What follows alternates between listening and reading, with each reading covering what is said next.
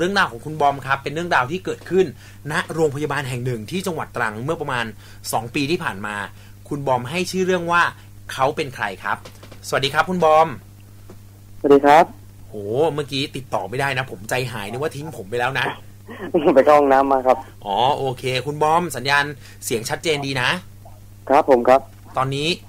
เราพูดคุยกันอยู่เนี่ย คุณบอมอยู่ที่ไหนครับ อยู่อยู่ในห้องครับ อยู่ในห้อง อยู่ในห้องเนี่ยอยู่จังหวัดอะไรครับ อยู่จังหวัดตรังครับ อยู่จังหวัดตรังเลยนะครับอยู่ในพื้นที่เลยนะ อ่าอำเภอกันตังครับพี่ตำบลกวนตานีไม่เดี๋ยวก่อนนะครับเป็นที่ตั้งของโรงพยาบาลนี้หรือเปล่า ไม่ไม่ไม่ไม่ใช่ครับโอเคแต่อยู่อยู่อยู่ในจังหวัดอยู่ในจังหวัดเดียวกันครับ โอเค แสดงว่ามีหลายโรงพยาบาลนะ เอาเป็นว่าพี่ขออนุญาตสงวนชื่อโรงพยาบาลไว้แล้วกันนะ ครับผมครับ เอาเป็นว่า ฟังเสียงบอมแล้วพี่รู้สึกว่าบอมตื่นเต้นน่ะ ตื่นเต้นไหม นิดหน่อยครับพี่เพิ่งเล่าครั้งแรกอะไม่เป็นไรไม่เป็นไรเดี๋ยวเอาเป็นว่าเราอยู่ด้วยกัน ใช้เป็นว่าคิดซะว่าเราเล่าให้เพื่อนให้พี่ให้น้องฟัง เราล้อมวงกันฟังนะ จะได้ไม่ตื่นเต้นเนาะครับผมครับพี่โอเค เรื่องราวของเขาเป็นใครเนี่ย เป็นยังไงครับบอม ผมมันผมมีมีมีอาการอ่าเป็นเป็นโรคลมชักตั้งแต่เด็กอะครับพี่ครับ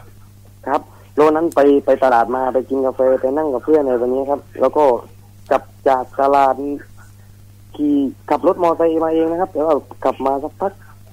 เกิดมือหน้าหน้าหน้ามืดน้ำมุนมึนหัวครับพี่ อืม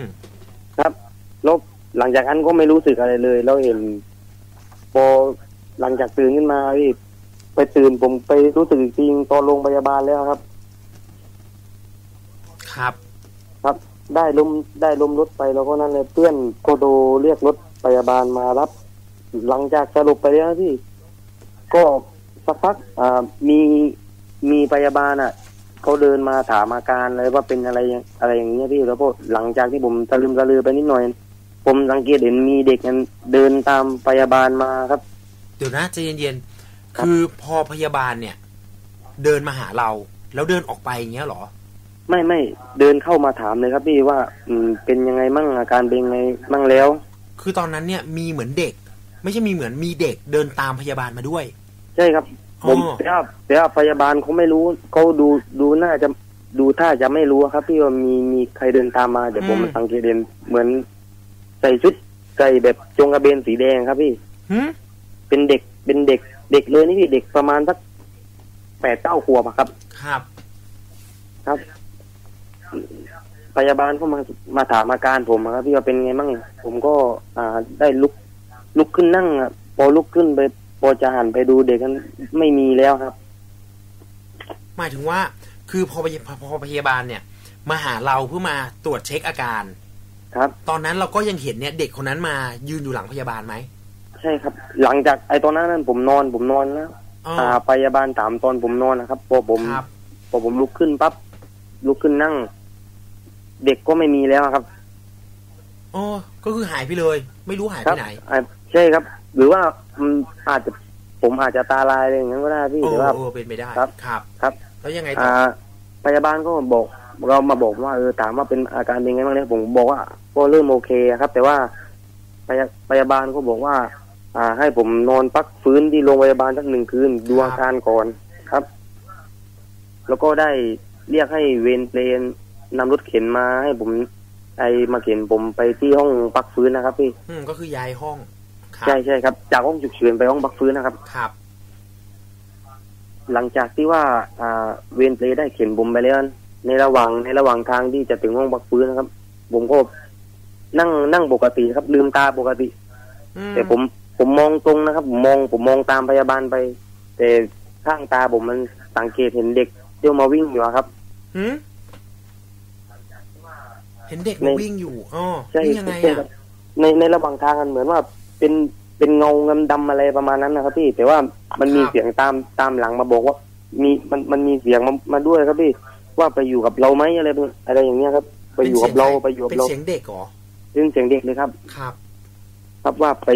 ไปไปกับเราไหมไปอยู่กับเราอะไรอย่างประมาณนั้นนะครับ ครับ หลังจากนั้นก็ไปถึงที่ห้องพักฟื้นแล้วพยาบาลก็กลับเวรเปรย์ก็กลับ ครับแล้วผมก็นอนหลับไปสักพักนะครับพี่นอนนอนหลับไปสักพัก ผมไม่กล้าลืมตามีเสียงมีเสียงขึ้นมาอีกแล้วอืมว่าไงอะ ครับนั่นเลยว่า ว่าเหมือนเดิมครับที่ไปอยู่กับเราไหมไปอยู่กับเราไหมพอผมก็เผลอๆหลับไปอะครับตื่นเช้าขึ้นมาก็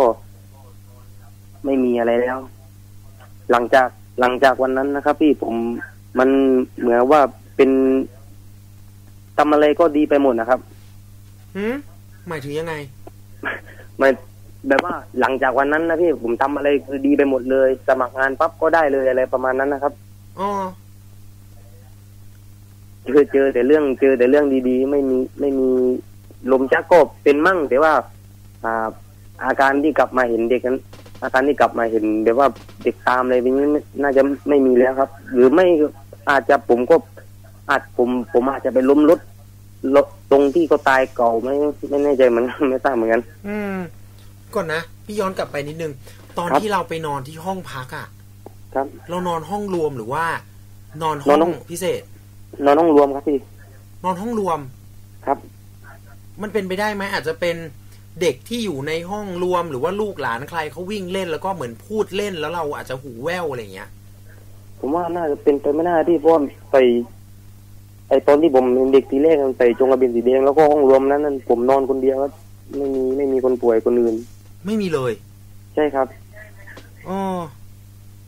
โอ้โอ้โอ้โอ้แปลกดีเหมือนกันเนาะเรายังครับพอจำลักษณะของเด็กคนนั้นได้ไหมครับว่า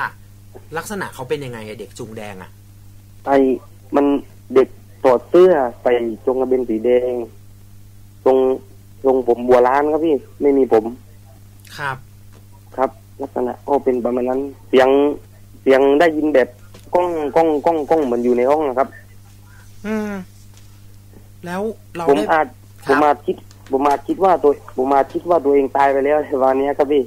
แต่พอตื่นขึ้นมาตอนเช้าปกติทุกอย่างครับ ครับ ครับ มีแผลที่หัวมีแผลตามตามแขนตามขา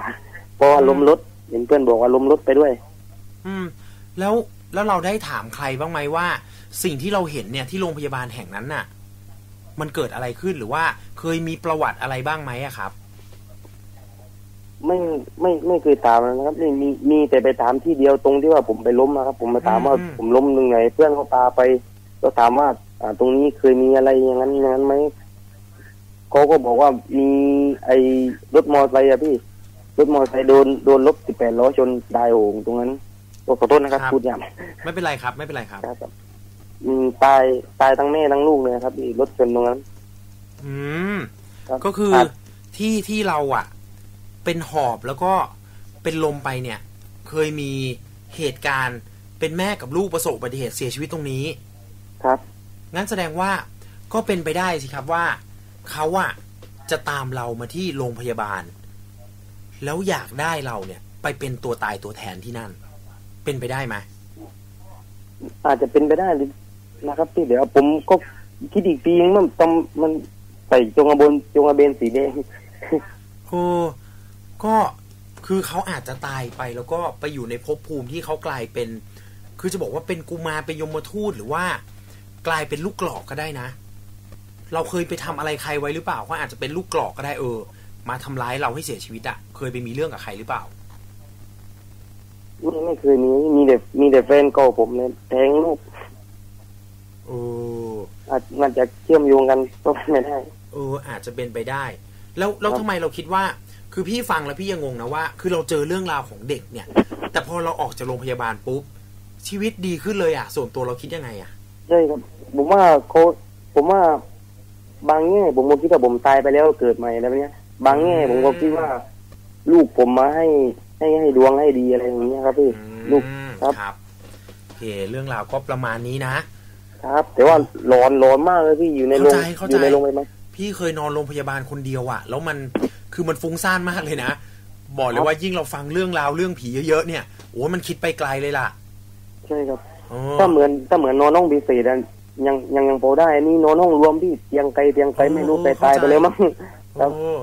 อะ ไม่เป็นไรครับ ก็ถือว่าเป็นครับประสบการณ์ที่เราผ่านมา หลังจากนี้เราก็ทำตัวเป็นคนดี อะไรที่เขาเรียกว่าเป็นเป็นประสบการณ์ที่ไม่ดีเราก็ทิ้งไว้แล้วกัน จะครับปีใหม่ครับแล้วเนาะครัเราบทำอะไรใหม่ ๆ นะจะไปครับครับปีใหม่ไปเที่ยวไหนบอม